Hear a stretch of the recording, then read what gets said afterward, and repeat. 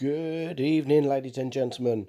I am Meadsy69 and we are back with another video. Um, this time it is the FV215B.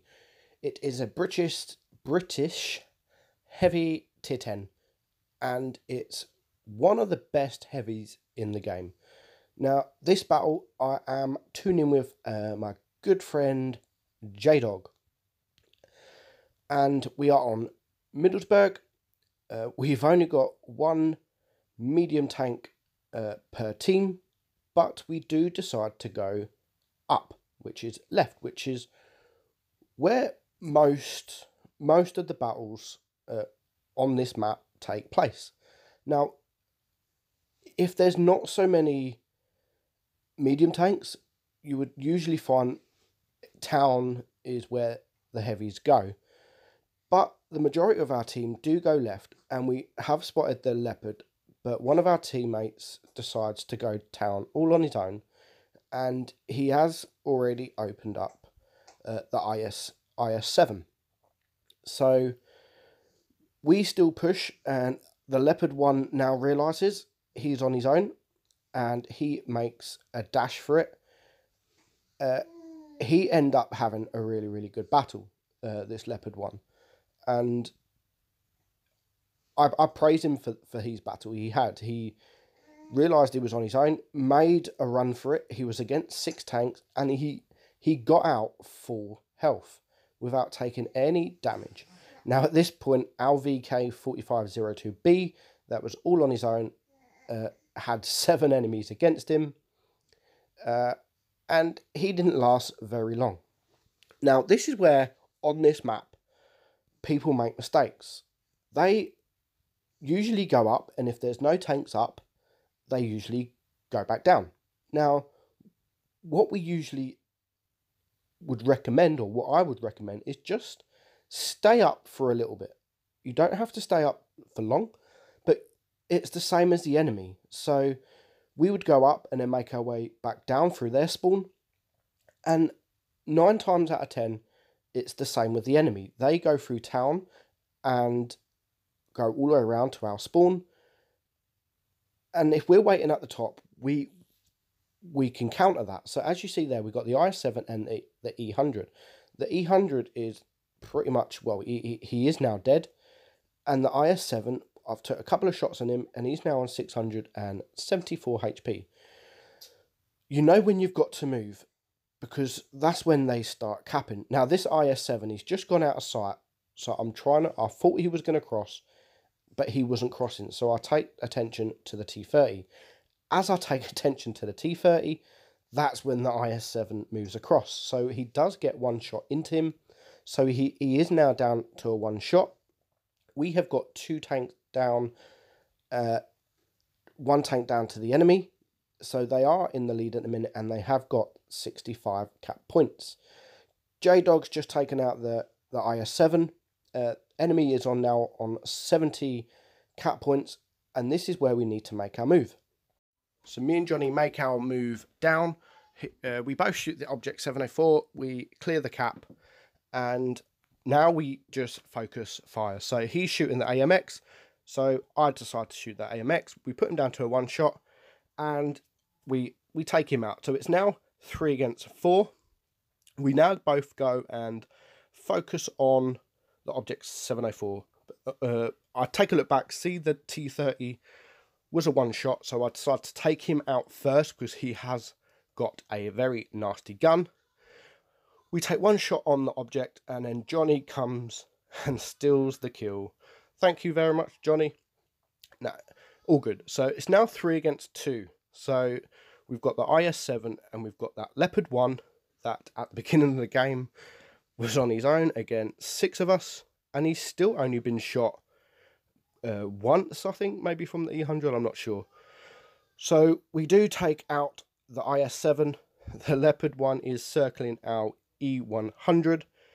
Uh, unfortunately, I get there a bit too late to help the, to help the E100 and he does finish him off. So we do take another shot on the on the on the leopard, Brad Pitt. Great name, Brad Pitt. Uh, but he unfortunately, I've got quite a nice fast tank, so he's he's too he can't circle the building before I can get around. So he does get me down to 782 HP, but we do take him out for my fourth kill. And that's what I'm saying about Johnny stealing the stealing the kill for the Object 704. Would have put me on four, five kills, but nevertheless, we have a nice battle. We do finish on 5k damage, and it was a first class. And that Leopard one also finishes on 5.2k damage. So a lovely battle from the Leopard. Uh, hands up to him, he had a really good battle. Moving on to our second battle, I am not in a platoon, and this was filmed, this was recorded uh, a little while ago because I was still in Phoenix Clan, but it was quite a nice battle. Uh, unfortunately, it is Supremacy, which, because it's Supremacy, does cost me a little bit of damage and a kill. Not, not much damage because uh, maybe a one shot, but it does cost me a kill. So we do go left. Uh, we would usually go right, but we haven't got any mediums, and the enemy have got three. So on this map, I would prefer to go left with all heavies because the Cap B and the Cap C uh, are quite away from Cap A. So we, I am capping the Cap B. Uh, we are also capping Cap C, and with the enemy with three mediums, they haven't even started capping A yet. They've just started now. So by that time, we've already capped Cap B and we've now capped C. So we do make our way around. Uh, we are spotted. Uh, I don't want to go too far up because the team might all be at uh, at the caves. So we do go all the way around. I have got my team behind me, and we, we, we go around by the spawn, and as we go around by the spawn, we open up a few enemy. We, we've got a T-54 who is AFK. Unfortunately, my team are behind me, and they are all taking shots at him as well, so I do only manage to get one shot. Now, the enemy have now retaken our cap B, so they are now in the middle. So it is an IS-7, great armor.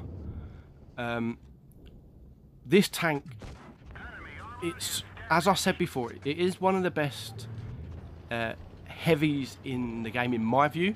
The IS the IS-7 obviously is is an amazing tank with the armor. This hasn't got great armor. It's got trollish armor. It, it can bounce shots, but the gun is fantastic. The DPM is fantastic, and the speed is for heavy fantastic. So it is overall a very, very tough, tough tank. Very, very good tank. And it's just... Oh, how can I say? It's the last update. There was actually an issue with this tank where the the the cupola on top was zero armor, so it could be HE'd or heshed or by anything and it would pen and it would do a lot of damage. Now that has been fixed. So I, I didn't play this tank while that that uh, hatch was, was broken. I didn't play at all. So, and this I believe was before, this battle here was before, way before that update. So we've now taken out uh, the waffle. So it is at 4 against 3 and the cap points, the enemy are winning on cap points. But we are catching up very, very quickly. Now, this is... We've got the E100. He is full health. Now, side scraping, it's amazing. The depression is is very good. And look at that. The, the E100 is all red. So aim at the tracks. People will see that and usually switch to APCR straight away. If you go for the tracks, it's the same with the IS-7. Go for the front track wheel and you will pen and you will you will track him. I had to switch to APCR there because my gun depression I could not get to his tracks. And the accuracy on this is very, very good as well. And I penned that uh, APCR shot. Again, I don't know what actually what he's doing. He did not want to know me at all. He wanted to cap the base, but it was too late for him. Uh, there was two tanks left alive, both for one shot, but we don't manage to kill them. But we do finish on 1.5.1k damage. We make 121,000 credits with a mission, and we do get 1300 XP. So not enough for an ace, but overall a very, very good battle. A very nice tank. If you haven't got this tank, I will would recommend this tank. It's completely different to the IS-7 E100s, but it's amazingly fun to play. So I hope you enjoyed this, guys, and I'll see you in the next one. Bye-bye.